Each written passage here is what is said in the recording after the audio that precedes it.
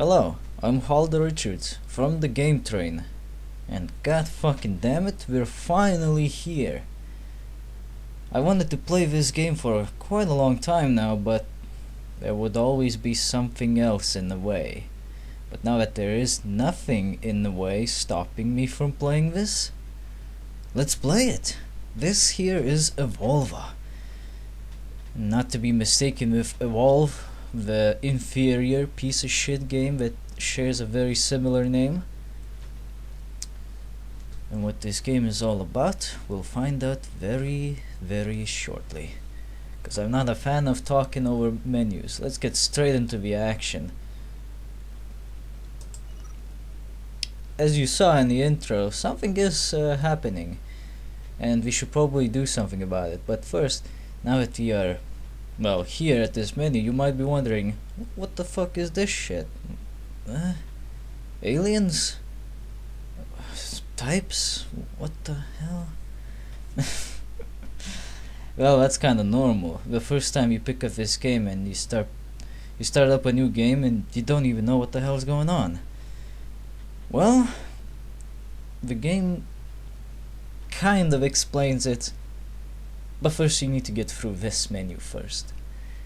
So let's get straight to work. First of all, in Evolva you play as a group of operatives from the team called Evolva, hence the name of the game. They are professionals at doing things which the humanity has mastered, which is genetics. In their case, they're the masters of on the spot, on the fly genetic mutations to adapt to the environments and fight evil shit. Perfect for every situation. And we currently have a team of quite diverse specialists. Kind of, kind of getting some uh, Project Eden vibes here, but uh, don't worry, it's nothing like that. First of all, we got ourselves a team name. Let's choose a team name. Now here you can type in extra stuff I think. I think that's how you write it and you can get some uh, extra things unlocked like a first person mode or something but they're not gonna do that. Let's just go with the best name of all time, Team Cool. And now for the other bastards. Our operatives here are called Geno Hunters. They're human, but they have these um, I'm not sure if these are supposed to be like suits or are they just engineered to be like that. I think they're suits. I don't remember. I, I don't really actually know. But uh, it's pretty safe to assume that they're human because it's the humans who mastered the genetics as the manual suggests. They mastered it to such a ridiculous degree that disease and genetic failures, it's a thing of the past. You were born with too many chromosomes? No problem, we can fix that right on the spot. Really, they are the masters of genetics. There's nothing else to say about that.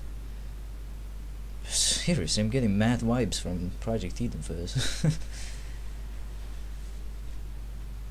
the Geno Hunters come with their own types and their looks.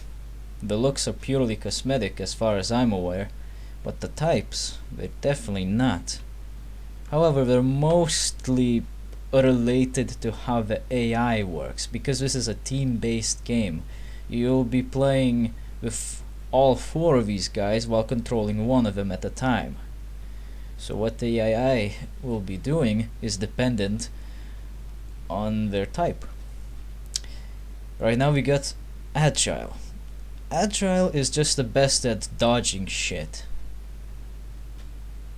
Think uh, Dark Souls when you have uh, an agility build, when you're able to dodge things flawlessly. It's pretty much like that. Maybe maybe not able to dodge everything flawlessly, but he has the greatest chance of dodging stuff.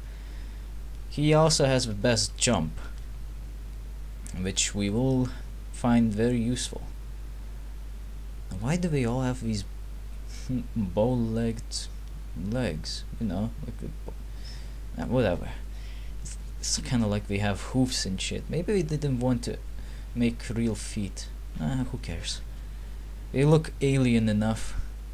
We should be able to blend in with the environment. So naturally, because this is an agile character, we have to call him Shinobi. Like, you know, like the ninja from Revenge of Shinobi and Shinobi 3 Return of the Ninja Master. Now we have Speed. He's the weakest of the Geno Hunters, but also happens to be the fastest of the Geno Hunters. So, if you ever feel like exploring before sending your whole crew in, you know, just to make sure you don't run into a trap or something, you want to go with a speed type. He's the fastest. He can run away in case of anything. Uh, of course, uh, unless the enemy, if there is an enemy, of course, has some kind of a ranged weapon. Since he's fast, he has to have a proper name as well.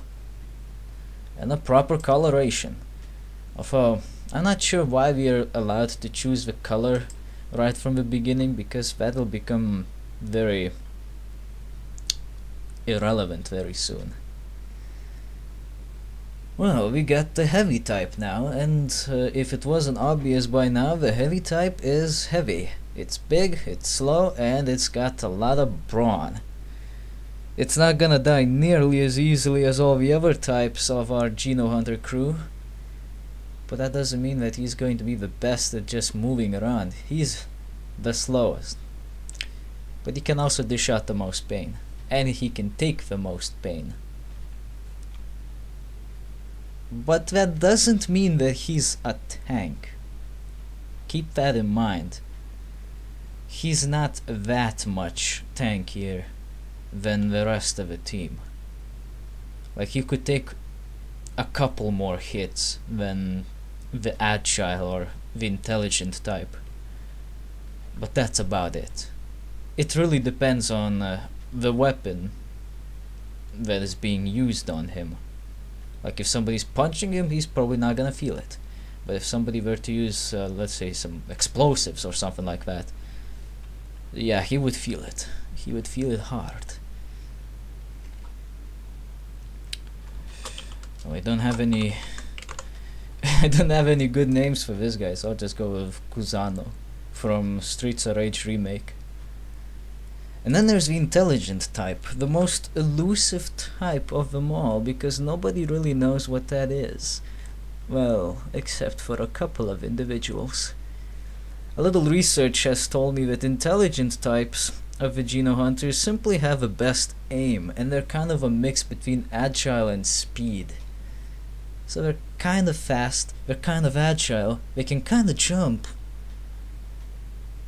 but they have the most accuracy. That's what makes them stand out. They have the best accuracy. So, once the AI takes them over, you can definitely be sure that they'll make their hits count. Let's call him Brainiac. Give him a green color too. I want more green. Yeah. Yeah, boy. Very green. I would have gotten this uh, this damn video out a lot sooner actually, but uh, you see, this game has a bit of an issue. I'm not sure if it's just Fraps, it could be other recording software, but uh, whenever you get to a loading screen, it just freezes. And it freezes so hard, it's really hard to get out of a game without uh, restarting the computer entirely. So if you plan to record this, note that you'll have to stop the recording process before and well before the loading screens. After the loading screens it's alright it's alright. But before the loading screens watch out. It's gonna happen. You're gonna get some mad uh, crashing and shit I learned that the hard way I lost some good footage but uh, let's not dwell on the details too much now that we got our team of Geno Hunters, it's time to learn more about the plot. Because while we did see the intro, didn't really tell much. I mean, uh, some kind of an egg fell down on a planet, started doing shit, and that shit spawned some spiders, and the spiders went on a murder spree in its immediate vicinity? What's up with that? Well, let's find out. The probe has detected planetary debris containing biomatter entering the X-92 system. Contact with the debris was lost when it entered the atmosphere of planet X-92-3. Guess we couldn't decide if it was 92 or 93, so we went with both. Twelve hours later, the probe recorded a significant increase in seismic activity. Explains the tentacles, I guess. Analysis suggests that these events may be related. Deploy your team of Geno hunters. Absorb sufficient indigenous wildlife to adapt to the environment. Yeah, that's the name of the game, but we'll get to that in a moment. Locate and assimilate any non-indigenous biomatter to aid further analysis. And objectives, well, you can read that if you want to, but that's not necessary. We'll get to see them in the game anyway. Before you start, you can take a look at your planet. It's divided in several regions, which we can't really see right now. Like, there's a little outline every now and then, but that's not really it you can kinda see what the planet looks like. It's kinda low res, but that's okay. The mission area is indicated by this red outline. That's where you'll be walking around, so you can kinda pick up the scale of the planet like this. I'm pretty sure that the mission area is downscaled tremendously in comparison to this because if this is how it actually is, like this is how big the actual mission area is which, which will we, we will be in. Then this planet is quite small. This planet is quite fucking small. But you'll see what I mean once we hit that accept button. Once you feel like you're ready accept the mission. And let's get the fucking move on.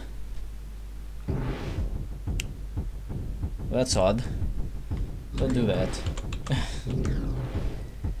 Alright, we started the game, here we are. This is how the game looks like. Not very impressive in today's standards, but in the days that Evolva was a thing, looks pretty good. This also comes with a bump map patch, so it actually looks a bit better than it actually used to. Along with a few other things included, like actually being supported properly on Windows 7. Okay, so we got our team of Geno Hunters. At the bottom portion of the screen, you can see three PIP views, which uh, allow you to see what the hell is going on around your teammates, and the crew member that you're controlling will instead have a radar. Let's have a look at the radar then. What does the radar say? Move these guys away a bit. A bit. Well, there's the N. That's just the north. You use that for you know navigation purposes. Then there's the O. That's objective. You go there to do things. And then there's the numbers which indicate the locations of your teammates. To start press T. It'll group up all of your teammates you will know that your teammates are grouped up if you see that little ring on their PIP views light up yellow as it is right now. If it's not lit up, your teammates are not following you. They'll just be standing around idling like a bunch of bastards. Not sure how consistent the frame rate will be on the playback. All I know is that sometimes the game goes into 60 frames and sometimes it doesn't when recording. Or maybe it will stay on 60 frames, I don't know. The thing is, it's only on recording. When you play normally, it doesn't drop frames or anything. It's very smooth because, well, it's an old game. It's supposed to be smooth. How can you have an old game that's not fucking smooth? It sounds weird. Alright, hmm. I'm not sure why I went to it, actually. But whatever. The controls are pretty simple, actually. You can pick them up or either way. Oh, before we continue on that, A indicates food that you can eat or material that you can absorb. Like these things. They are used to heal up. But yeah, the controls are very simple. You move around with WASD. And, uh, well, you use the mouse to move the camera around, obviously. But uh, then you're wondering what other controls could there be? Well, you use the left mouse button to attack, and you use the right mouse button to jump. I believe you also use the mouse wheel to switch out weapons, but that'll be a thing for later. We don't actually have any weapons right now. Go through this cavern and beware of these exploding watermelons. I at least think they're watermelons. Where's the other guy? Here he is. But yeah, avoid them because they kinda hurt. Plus they're explosive.